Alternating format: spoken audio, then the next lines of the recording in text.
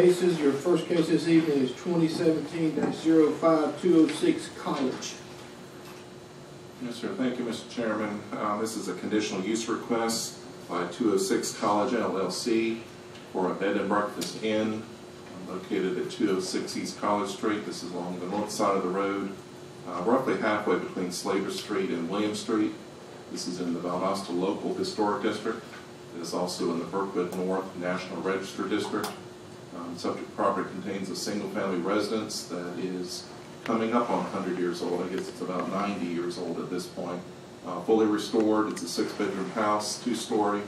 Um, The applicant is proposing to convert it to a regular bed and breakfast inn, utilizing up to five of the bedrooms for guests. Um, And of course, the owner would live in the residence. Um, In your packet is a whole lot of information, including these maps, but that information includes our supplemental standards for bed and breakfast, as well as some uh, standards and guidelines for the historical overlay district. Conditional uses are not normally um, applicable to a bed and breakfast in residential zones, but because this is in the local historic district, it is eligible. Character area, um, as you might imagine, with the Brookwood North neighborhood, is established residential. Um, The aerial shows, of course, the old urban um, tree canopy and the rooftops of many homes, many of which are historic. Um, In the area, it's a little bit hard to discern, but there are some non-single-family residential uses there, uh, including some churches and some apartment buildings. You see the RM zoning on the block to the north, and there's a little bit more um, off to the east. The house, um, craftsman style historic residence, two-story. Um, Site plan that's in your packet, uh, which is not in here, wow, okay. It's in your packet that shows two driveways, the aerial, um, you can kind of see sort of the driveway aprons, but they're better seen in these photographs. Um, there's a driveway on the west side, and then one on the east side, which is more visible there. Um, the property lines between the abutting houses follow those driveways. The driveway to the east used to be a former alley that was 20 feet wide. Um, The applicant's driveway is on their side of the abandoned alley, 10 feet wide, and then the residence next door has the other one. And they share aprons out to East College Street. Um, Other properties nearby, single-family residences, these are the houses on either side, and then across the street, and as you can see, it's all similar style architecture. Tax cards of these properties indicate they were built in the 1920s.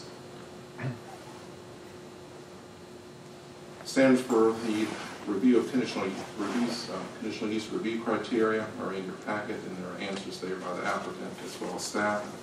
Um, This is one of the uses that is targeted for historical properties as an alternative to single-family use, um, as long as it's an accessory to the primary use as a residential. And of course, that's why the standards are there, so that the owner, or the operator of the facility must reside on the property. Um, Planning commission, or planning staff, of course, has reviewed this against all of those criteria, and we're making a finding of consistency with the comprehensive plan and the conditional use review standards for the recommendation for approval with a series of five conditions, and they are as follows. Approval shall be granted in the name of the applicant only for a bed and breakfast in an R10 zoning and historical overlay district for the existing building in accordance with the submitted conceptual site plan and adherence to all supplemental LDR requirements for such use. Number two, all parking shall be on-site and located in the rear yard only with a minimum of five parking spaces. Vehicular access shall be in the form of residential one-way drives, with final driveway design and materials being approved by the city engineer and the Historic Preservation Commission. Number three, the property shall continue to maintain its residential character and historic appearance as approved by the Historic Preservation Commission. Number four, signage shall be limited to either one incidental wall sign not to exceed five square feet or one freestanding sign not to exceed four square feet and three feet in height. And lastly, initial use approval shall expire after two years from the date of approval if the applicant has not made the required site improvements and submitted a business license application for a bed and breakfast inn by that date. Applicant is here if you have some questions for him, otherwise I'll be glad to answer any additional questions you may have for me.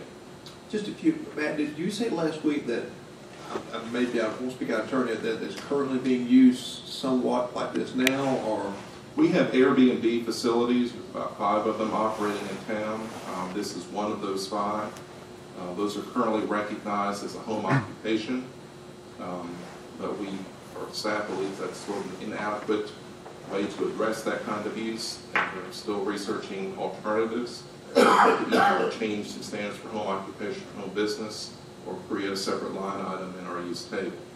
Um, Airbnbs are a lower key version of a bed and breakfast, uh, typically smaller, um, less known to their surroundings. This has operated that way for a few months.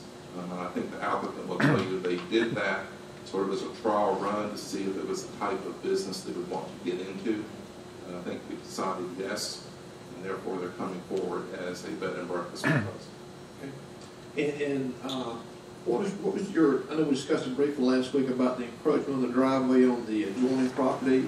Do you have any heartburn with that, or what can be worked out with that? None, it's part of the site plan, it's just the final design and materials of it need to be approved by the city engineering department. Um, these are existing driveway curb cuts onto East College as shared driveways between those properties. Um, the main driveway that would be used is the one on the east side, which is a little bit wider, and there are existing driveways there, they're just not completely paved. And staff has no issue with those as long as they maintain the residential look and that all parking is in to the rear of the building. In other words, from the street, it will still look like it does today, except with some minor improvements to driveways. Thank you, sir. Commissioners, any questions for staff? Mr. Bolton?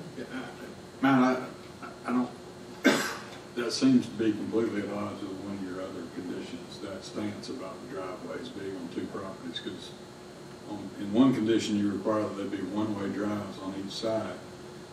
But if a, if an adjoining neighbor, after this is approved, shuts down a portion of the drive and you can't use it, then that, that completely nullifies your, your driveway plan. So why shouldn't you know, some sort of, you know, driveway easement, joint driveway agreement, something be a condition to the conditional use. I mean, it seems, seems like to me you either gotta have both, or you have, or, You can. because you're blessing, you know, you're blessing a, basically an illegal use of a driveway. That- That's what I was looking at also. Yeah. So just make an attachment, condition, if you will, Mr. Bolton, on. You can modify the language of that condition, certainly. The way staff looked at it as existing drives with prescriptive easements already in place, but strengthening that might not be a bad idea. Commissioners, any other questions for staff? I do have a question, Commissioner Matt. Is that backyard able to accommodate five parking spaces? Very easily. Okay, and there is also a street side parking? Um, there is this yellow curve, there is no street No side street parking, nor would we want street side parking associated with this facility. But here's across the street. Because one of the photos you had had showed two cars parked on the curb. Mm-hmm. Yeah. So I'm just, Yes, it's not a yellow curb over there. so they could park there if they wanted to. They could on the other side of the street. It's just, given the type of use in the area, I would not want to encourage on-street parking. And particularly in this case, it would be overnight. I know Brookwood North for on-street parking, it's usually college students, um, which is a little different than what's being proposed here. Commissioners, any other questions for staff? There being none, is anyone here wishing to speak in favor of this request, please come forward this time and state your name and your address for the public record. My name is Greg Moore. My address is 507 George Avenue and part-time at 206 East College Street. Um, I'm the owner of 206 College LLC and the current Airbnb. The, the name of the bed and breakfast would be the Cottage on College. And when I, um, my background is real estate, so when I purchased the property, I made sure that it could become a bed and breakfast, that that was a permitted use in the area. And like Matt said, I experimented with the Airbnb uh, concept. And if you're not familiar with it, Airbnb is a facilitator online that you can go to their website. I had my house listed. I had um, Brandon Powers, former uh, photographer for the Valdosta Daily Times, to do a photo shoot of the house. And so it's listed there professionally. I have it set up with five bedrooms, um, three, uh, two bath, two and a half baths right now, and um, plan to renovate one into a third bath. So um, it started out, if I wasn't going to close on it with Guardian Bank unless I got some bookings with Airbnb, so I gave it a month, and um, I had about six or seven bookings, and it's gone well since then.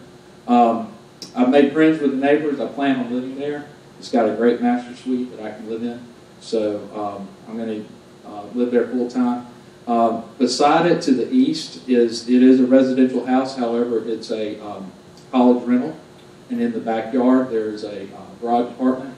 On the west side is uh, my neighbor that y'all uh, had questions about the shared driveway, um, Mr. Folsom.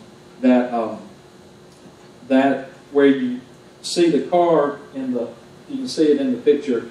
There is an established tree line, and uh, they have a privacy fence up, so they don't utilize that driveway. The current resident doesn't. However, I have spoken with her, and I just was- wasn't able to get that in writing with her on that easement, but it does fall into the prescribed easement.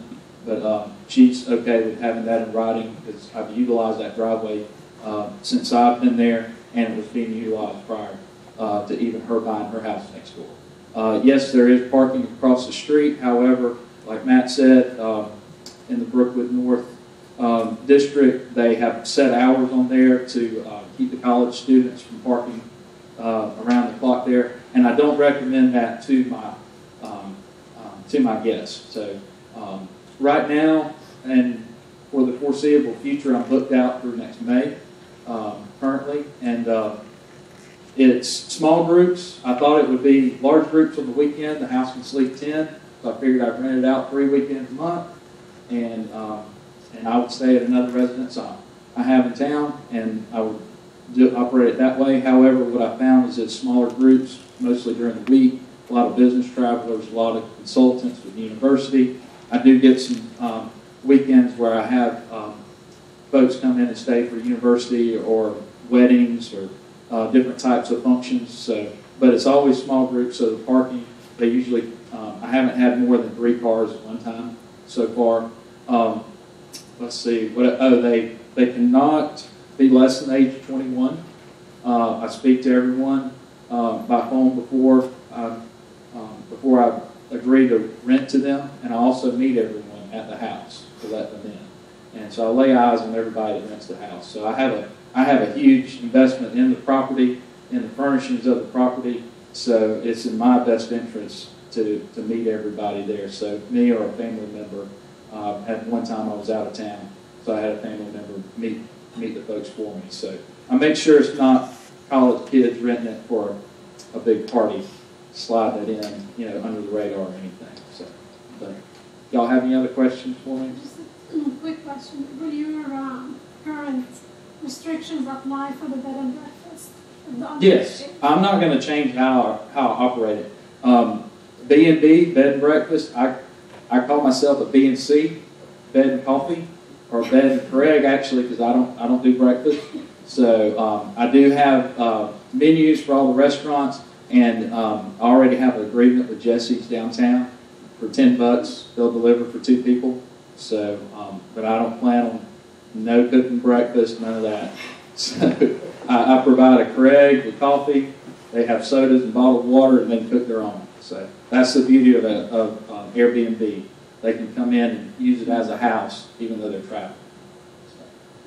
Congratulations to you on that. So just one quick question. Wh- wh- What's the, what's the average stay time? Two days, three days? Two days. Two days? Yeah. Commissioners, any other questions, Representative? Thank you much, Ms. Moore. Anyone else here wishing to speak in favor of this request? I'll speak in favor of it. Come forward, please, sir. State your name and your address for the record, please, sir. Um, Craig Tomlinson, sixteen oh five Second Street. Uh, my property, um, butts up his on the north side, in the rears. And, um, my family's been property owners, um, at sixteen oh five for fifty plus years, so I'm very familiar with the area. And I didn't come to speak for or against, but, um, since you're voting on it or whatever, uh, I'm for it, it's good for the neighborhood. Um, as I said, I'm very familiar with the neighborhood and, uh, it's gone through a lot of changes in fifty years. And, um, I think it'll be a positive. Uh, the only question, and Mr. Moore and I just met briefly in my backyard a couple months ago, so I haven't even spoken to him about speaking, um, for this. Um, just, uh, the parking in the backyard would, you know, maybe affect my property, but I'm confident that he would, um, make any, um, changes that would need to be done to, um, satisfy that, so, um, for what it's worth, I'm in favor. Thank you, Mr. Thompson. Any questions for our presenter? Thanks again for coming forward. Anyone here wishing to speak against this request, please come forward. Anyone wishing to speak against this request? There being none, the public portion of this is now complete. Commissioners, any discussion amongst ourselves before we ask for a motion? There being none, I will ask for a motion this time. I'll make a motion. Um, I'll make a motion to recommend this request as, um, presented with the five conditions. Okay, so we have a motion. Second. We have a second. Any discussion before I ask for a vote? Commissioner Polson? I plan to make a motion, but I, one, one additional suggestion for a condition. Uh, I don't know if you would amend your motion to do this, but conditional use shall not be valid until a joint driveway use easement agreement is executed and reported with the owner of the parcel to the west of the subject property. I can't tell you, mean, we're, we're I think we are sanctioning something that could turn out to be an issue later on. Mm-hmm. If you rezone this without that particular condition, because no matter how amenable the, the adjacent property owner is now, if they sell that property and somebody takes those trees down and takes that fence down and says, this is my land, and puts a fence down the middle of the driveway, we've just, uh, conditional use wise, his property is useless, because we've, we've conditioned the driveways to be one way in, one way out. Now they're only one way in and no way out. So you, you have to have this in place, in my, my opinion. So I can provide that to Carmella if you want to amend your motion to include it. Or withdraw your motion, I'll make another. Or if you don't want No. to vote. I will amend it. But if you would please restate it.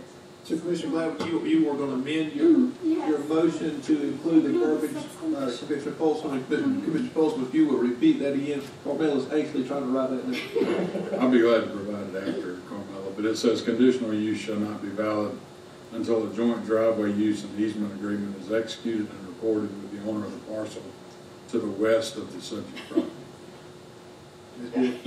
Is the second still good? I need to ask for, Second's still good. second still good, so I have a motion and a second. Any further discussion? There being none, all in favor, please signify by raising your right hand.